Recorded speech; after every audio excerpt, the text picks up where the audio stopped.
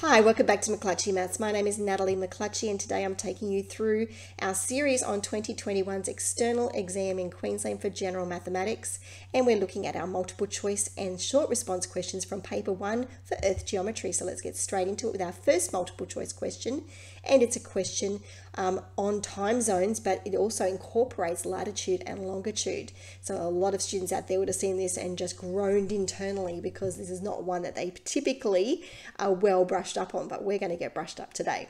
City A is located at 55 degrees north and 120 degrees east, and City B is located at 40 degrees north, 165 degrees east. The sun's going to rise in City A approximately, and then we have some choices. Now, I always think with questions like this, it's better to work the answer out first because just inspecting it, it's not one of those things without doing some calculations that you can rule anything out automatically. So you're actually going to have to do some calculations. The first thing you need to recognize is that when we're thinking about time zones, we're only interested in latitude and longitude. The Earth rotates on its axis, and all of those longitudes roughly line up with time zones. So longitude is the only thing that's important. Now, if we look at our coordinates for city A and city B, we need to ignore the latitude. Now, this is the one that people often get confused about which one comes first. Latitude is always stated before longitude, and the easy way to remember that is LA is before LO in the alphabet. That's how I remember it. So you've noticed I've highlighted those in orange. So looking at that, that means 55 degrees north and 40 degrees north are not relevant at all. That's our latitudes ignore that. We want to find the difference between 165 and 120 degrees, which I've circled there for you. So our difference between those two longitudes is going to be 45 degrees. So that's our first step that we need to make. It still doesn't get us to our answer, but it's our first calculation. The next step we need to recall is that one hour that the Earth passes through on its rotation is equivalent to 15 degrees longitude. Now this is one that people often get confused. They might think, oh, it's 15 minutes for one degree. No, it's one hour for 15 degrees. The easy way to remember that is to just apply logic. The Earth spins through 360 degrees in 24 hours, which is one day. So if we're trying to find the rate um, of degrees per hour, 360 divided by 24 gives us 15 degrees per hour. So if we know that now, we've got 45 degrees. So that means we've actually passed through three hours because 45 divided by 15 is three. So we can straight away rule out options A and B. So now we're moving somewhere. We've now got a choice between C and D. And this is where it gets a little bit complicated for a lot of people. It actually was the one that I had to think about a little bit deeply and spend a little bit of time on it. And the best way I could do that was to pull out a map of the world. We need to work out if City A is going to see the sunrise before or after City B. This is where it gets a little bit tricky. You need to remember and memorize some facts because you're probably not going to be given a map during the exam. Um, I'm a pretty visual person and I can actually visualize the globe. It all goes back to the days where I actually had a map on my desk and it was a, built into the desk when I was growing up through high school. And I used to study that map all the time as I pondered the places that I wanted to travel. So I've got a pretty good mental picture in my head of where everything in the world is. If you don't, it's actually a good idea just to study a map a little bit as part of what you're doing for Earth geometry. Have a good idea where everything is. So if we look at the aqua line on that map, that represents the prime meridian. Okay, and then we've got this orange line that's kind of wonky in the middle, that's our international date line. So if we remember that time and, and dates start from the date line and as the world moves around and so anything west of that date line will see the um, see the day first or see the sunrise first, places like Australia, New Zealand, Japan. If we think of it though in terms of prime meridian, where we count our longitude from, the places that are the most east of that longitude line in down the prime meridian, they will see the day first. So it's a little bit tricky because we're thinking in terms of not only prime meridian, but we're also thinking in terms of the international date line as well. So remember, longitude is in terms of the prime meridian because zero is where that is. And we look as far as we can go to the east, they are the people that will see the day first. Okay, so if we look um, at our particular map here at our two cities, well, we've got one that is further east, that is city B. It's going to see that sunrise before city A. So that means that we can actually rule out now, if we look at the things three hours before it rises in city B or three hours after it rises in city B, well, it means that D is the only possible answer because D is the most east of the prime meridian. So that means that it will see the sun rise first and therefore city B won't. Another way to think about it is the sun rises in the east, so the first people, the people that are the most far east, they will see it first. That's a good way to think about it. Okay, so question 21. Similar sort of thing here, but this time we're given a map of some federal electorates in Victoria and we're asked which federal electorate is the position 37 degrees and 10 minutes south. That's what that dash means, minutes. So it's a good idea to have your calculator handy for that one, but we can actually do it without a calculator. I'm going to show you how in a moment. And then we've got um, the other position, 146 degrees 30 um, minutes east. So that's our um, other coordinates for longitude. So first of all, let's start by finding our latitude. We're going to ignore the minutes for the moment and we're just going to work out using our ruler and by sight where 37 degrees is. That runs right through there with the orange line. Now we've got 10 minutes. 10 minutes, um, which is that fraction of the 37, is 10 minutes actually out of 60 minutes if we think of a clock so it's one sixth of a degree when we think about it in terms of degrees. So that's telling us what fraction that is. You could actually use your calculator and spend time and plug it into the calculator. But if you understand how degrees and minutes work, and you know straight away that 10 is 10 out of 60, which is one sixth. So you could actually simply drop that bar now down to about a sixth of the way down. You could even use a ruler to measure it more precisely with a grid. Okay, our next step is we need to look at our longitude and we're going to find 146 degrees 30 minutes east. So let's start by putting our ruler on 146 degrees there exactly and then we're going to move towards the 147 degrees. Remember 30 minutes out of 60 minutes is half of a degree. So that means we're going to move halfway across and that places our two points where we've um, measured our latitude and longitude right in the middle of the, well, not really in the middle, but down towards the bottom of the electorate of Indi. That awarded us our first mark. This is a six mark question, but this is part A. So part A is not worth a lot. One mark. Okay, which means we've got five marks left to go for this question. We now need to find the distance between point A in the electorate of Mallee and point B in the electorate of Gippsland along the same parallel of latitude. So we're told the latitude is the same. That's going to give us a clue straight away as to what formula we need to use. We'll come to that in a moment. So there's A and B. We've identified those on the map. So firstly, we've got to find the coordinates of each point.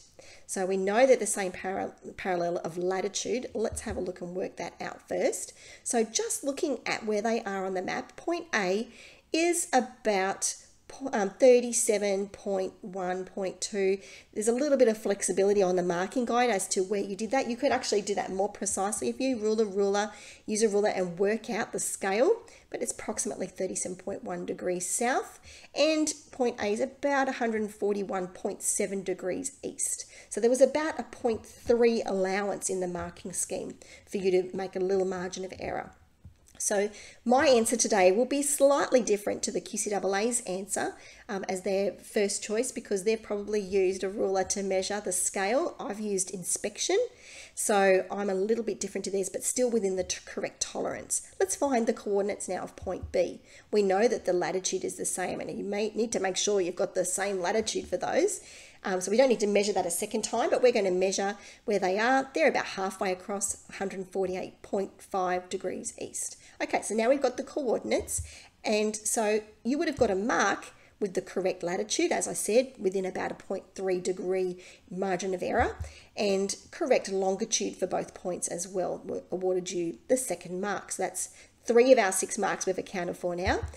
Next, we need to find the difference in the longitudes because we know the latitude's the same. There's going to be no difference there. We're finding difference in longitudes now. It's a simple subtraction. We get 6.8 degrees and we got another mark for working that out.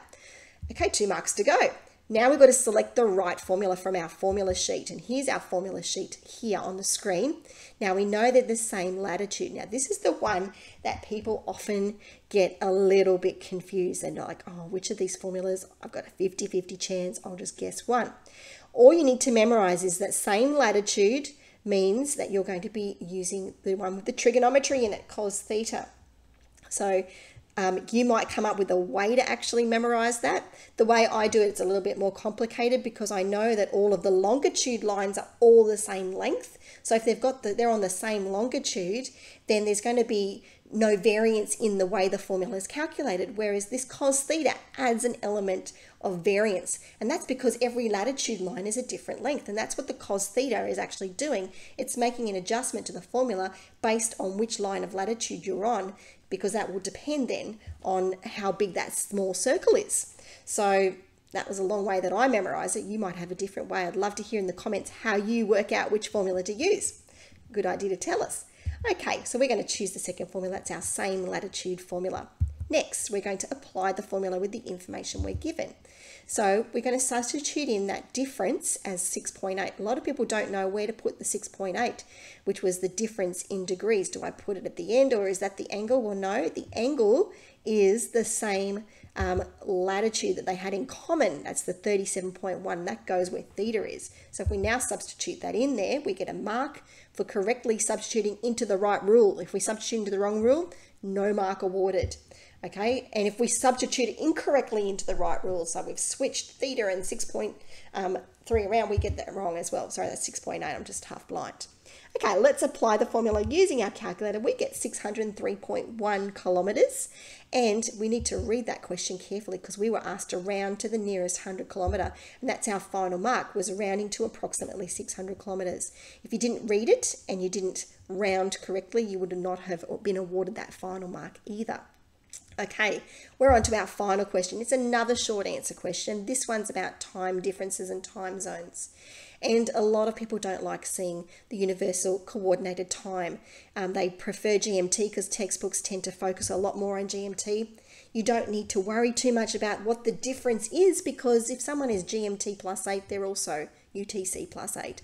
So we're going to focus on that. We've got a conference attendee who's going to a conference in Singapore. We've given Singapore's coordinates. They're coming from Brisbane. There's Brisbane's coordinates. And they're leaving at 10.30am Brisbane time on Monday the 7th of December. So the flight is going to take 7 hours and 40 minutes. When is the flight landing in Singapore? We need to give that in Singaporean time, day and date. Okay, so I think this, the best thing to do is to quickly sketch a timeline.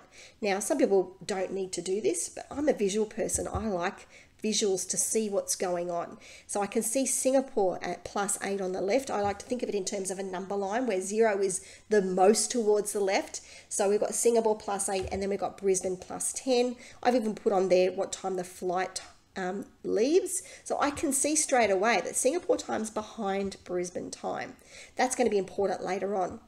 The next thing I do is I pretend that I get on that plane and I leave my watch on Brisbane time and I don't change my watch at all. I just leave it there and then I let the journey fly out and then I look at my watch when I arrive what time is it still in Brisbane? That's what we're going to do. We do the adjustments to time zones as our final step. So let's work out what time that flight's going to arrive in Brisbane time. We've got 7 hours and 40 minutes that we need to add on because we've been sitting on that plane for that long.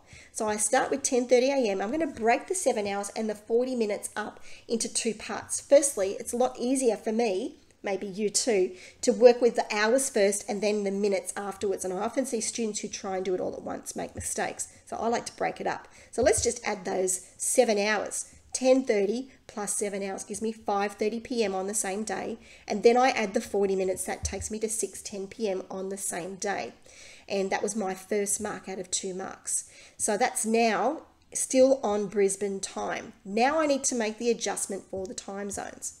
So my next step is that correction for the time difference. We already saw in our little time sketch that Singapore is two hours behind. So we take two hours away from that answer and we end up with 4.10 p.m. Now notice I've underlined in the question day and date. If you just wrote 4.10 p.m., not good enough. You also have to give the day and the date and that will give you the full second mark. Okay, let's look at part B. Someone else is coming to the same conference. They're coming from Dubai and they arrived at 5 pm Singapore time on Monday, the 7th of December. If the flight from Dubai to Singapore took 8 hours and 25 minutes determine the time, day, and date in Dubai, when the flight departed.